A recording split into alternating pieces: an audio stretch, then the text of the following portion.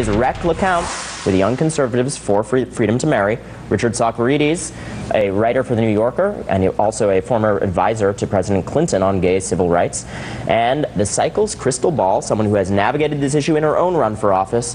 Uh, I'll start with you, Rek. Uh, your group is traveling to four early primary states over the next few months to lobby for this change to the GOP platform. What's your strategy for changing hearts and minds within the Republican Party? Um, our strategy is basically to reach out to conservative voters and constituents and just making sure they understand that we're not trying to alienate anyone. We're not trying to push anyone out of the big tent. We're just actually making sure that we're pushing the Republican values of liberty, personal freedom, and family values in a way that will be more inclusive to get more people, especially young people, into our party going forward.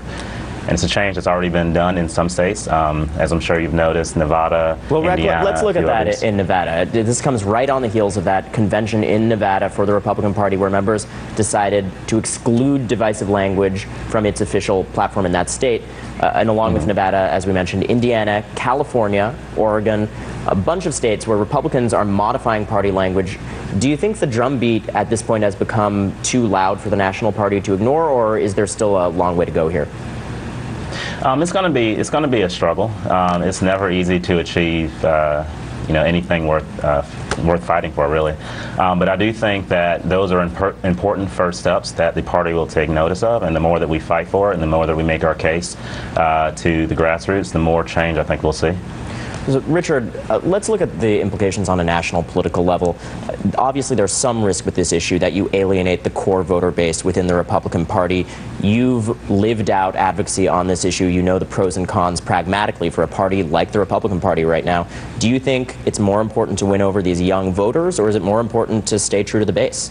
Well, I think, first of all, that this is a good development for the country, right? Because to the extent that uh, rights become a nonpartisan issue and an issue that everybody can rally around. I think it's good for the country and consistent with the Constitution. I think the many Republicans, uh, the uh, Northeast Republicans, the moderate Republicans see that this issue is an issue that will alienate voters, and if they want to win national elections, they have to stop sounding like crazy far-right people. Right. But, it seems like that's an almost inevitable right. But point. there's a huge split in the Republican Party, of course. The Tea Party Republicans are still very much wedded to a lot of these socially conservative issues.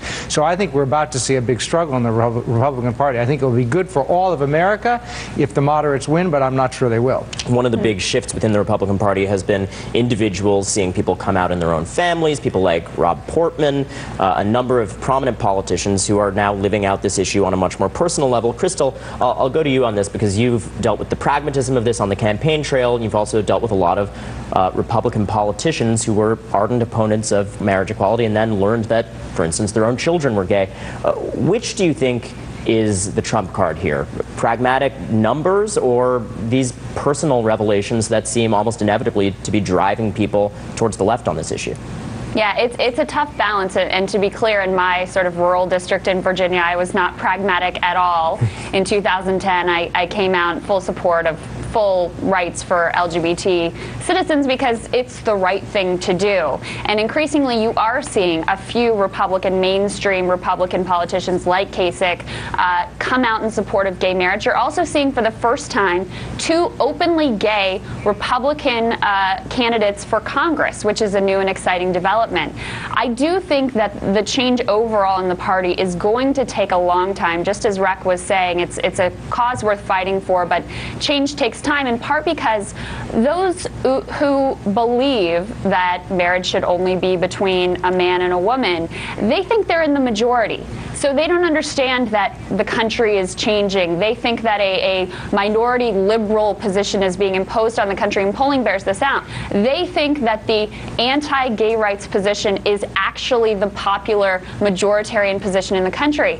So when you have that situation, that denial of reality and the changing dynamics, it becomes very hard to push that party to change. So there's actually a different understanding of the pragmatic stakes with some of these hardliners. Right. Uh, one new twist on this front is that we've learned that the lawyer who defended California's Prop 8 at the Supreme Court has been all the while planning his daughter's wedding to a woman, a good example of the phenomenon we were just talking about. Charles Cooper, that lawyer, said, quote, my views evolve on this issue the same way as other people's do And this is how I view down the road may not be, I'm sorry, the way that I view this down the road may not be the way I view it now or how I viewed it 10 years ago. Rek, I'll, I'll go to you on this one. How much of this shift is, uh, do you think, driven uh, by you know these personal revelations, as we just talked about with Krystal? And what do you think this signals for the California debate specifically?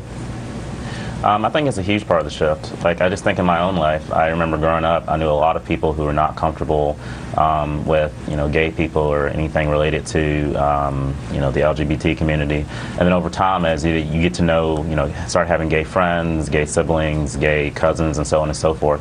Um, a lot of people are just coming around and to the point where now, in a lot of places, it's just not even really an issue anymore. Um, so in places like California and elsewhere, I think the more that you see um, people having friends who are gay, people having coworkers who are gay, and realizing that, hey, when they get married, the world doesn't fall. Um, the sort of argument from, you know, the collapse of civilization just kind of falls by the wayside, and people just get first less animated about uh, opposing gay rights, and then later on, um, actually moving towards support for the freedom to marry.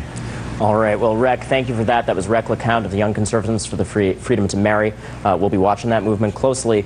Uh, but first, I, I, do want to, while we have the rest of the panel here, change gears and talk about that showdown in Nevada. It seems like a pure piece of Wild West. Senate Majority Leader Harry Reid is making the latest news in this with his comments about the armed backers of Cliven Bundy, the Nevada rancher who is battling the U.S. government over grazing rights. You've all heard this story. Self-described militia members who support Bundy flocked to the scene of that and uh, faced off with some agents actually on Saturday.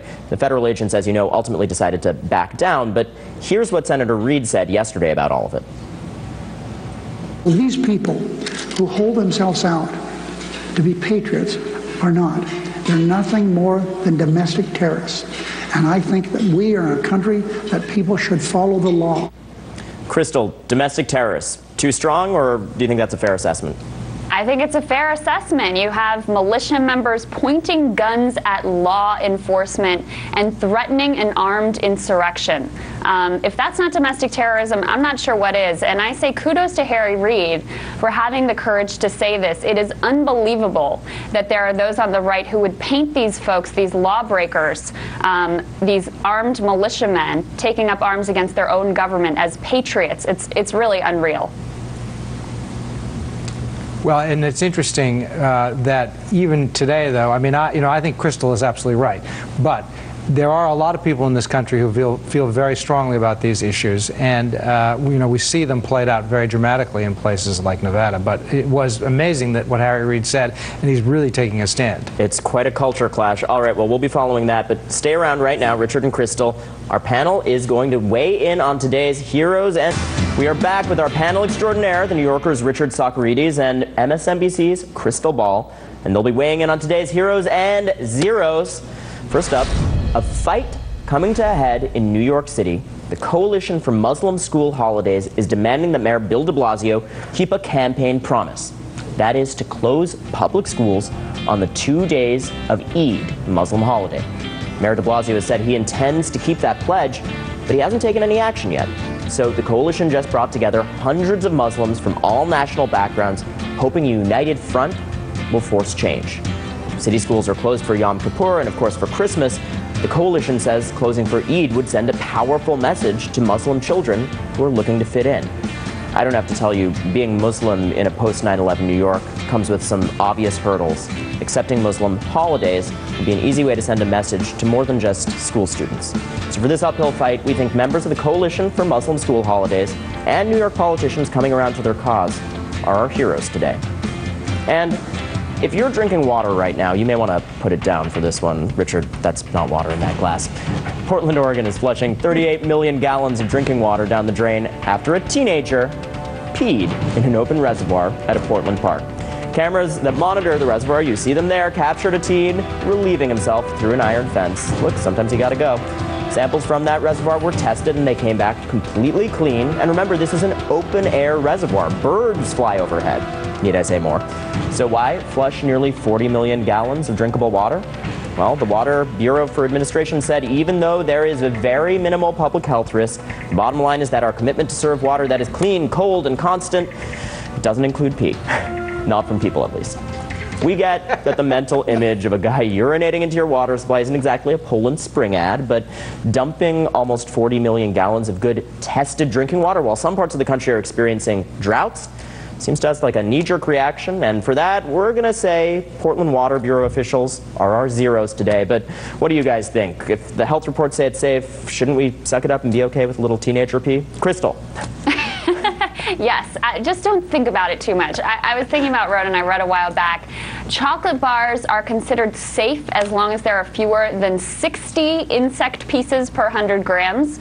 So we are eating a lot of things that we may not really want to be eating. It's just better to not think about it and move on as long as it's safe. And there's the old wives' tale about how many spiders we consume in a lifetime, which I have yet to do the research on whether it's true because I'm more terrified. protein. That, protein. that is an amazing fact, Krystal, about Thank the you. about She the, came with the research. uh, about the candy bars. But I will say, I think it's a great idea that uh, the Muslim community in New York is uniting around this holiday. I think you know it's very it's actually very difficult uh, for parents when new holidays are declared. But if there was ever a good argument for it, this would seem. And to you've be. been an advocate for, you know, minorities that are excluded, and I, I assume you think in this case it could help for this I think one. It, I think it could be helpful. Yeah. All right. Yeah. Well, thank you to both of you, Krystal Ball and Richard Socarides. Thanks, Ronan. Really appreciate it.